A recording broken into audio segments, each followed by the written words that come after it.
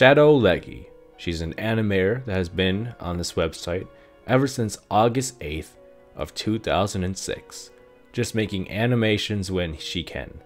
I know it's pretty simple of what she does, but now we'll talk about exactly what kind of specific animations she does in general, along with what other things she's made besides just animations here on YouTube for people to enjoy.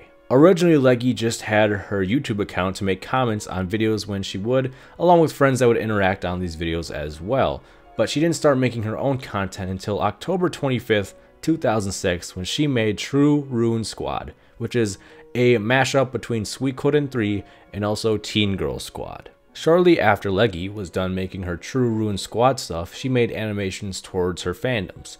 One briefly being about Silent Hill, and the other one, which she still does to this day, is Resident Evil animations, which did blow up. One of them is almost one month, well, two months actually, later, December 20th, 2006. The Resident Evil Numa was made, and as of today, it has over 4 million views on her channel. And then one year later, on September 12th, 2007, she made a remake of it because Resident Evil had a remake of the first one, so she decided to remake the Numa one that she made that also has 4 million views as well on her channel too.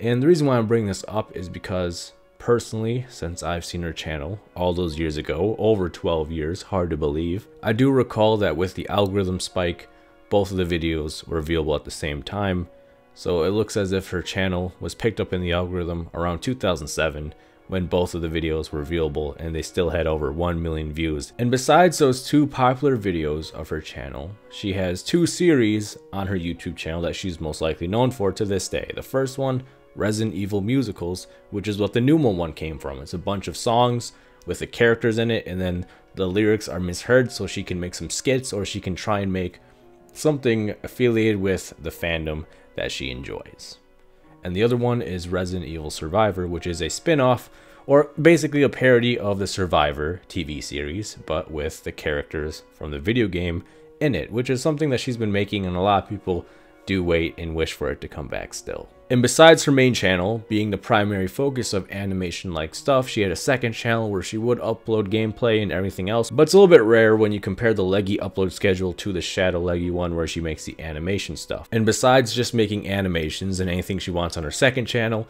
outside of YouTube she has a DeviantArt where she'll make some artwork of fans, commissions, or just anything she loves. And then she also has had experience with making games. Two of them being the To Stream series if I pronounce te right. and that is her whole entire channel. It's a pretty simple, a bunch of animations I know, but hopefully some explanations can help you out. She still makes animations to this day when she can, along with everything in her personal life going on, because even when she makes animations, she's using copyrighted music, and she will get claimed sooner or later by the companies involved, and we all know music companies are kind of a pain in the ass when it comes to copyright, and even if you make a parody, they probably still won't allow it. So if you want to support her on Patreon, donate by Coffee or Ko-fi, however you pronounce that other site. If you want to support her on there, if you want to buy her merch, go ahead. Links will be in the description for her channel for you to sub and check out if you want to or go down memory lane of nostalgia of hearing an animation back in 2006. The list can go on and on. I'm going to link everything down below for you to explore if you're interested in checking out Shadow Leggy and her channel. And ever since Resident Evil 2 came out, she made a couple animations around Resident Evil 2 Remake, and with the third remake coming around the corner, who knows if she'll have some animations down the road for when that game comes out. And with all that being said, keep making content if you're out there, keep improving your health, and I'll see you around.